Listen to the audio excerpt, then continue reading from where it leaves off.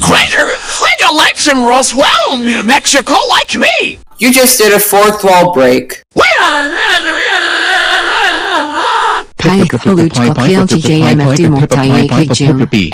No, no, no, no, no, no, no.